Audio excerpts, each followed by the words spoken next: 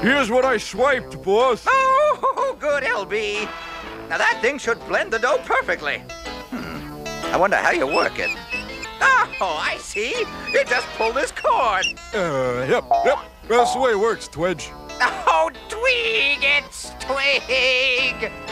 Now, put it in the dough and I'll give the cord a good hard jerk.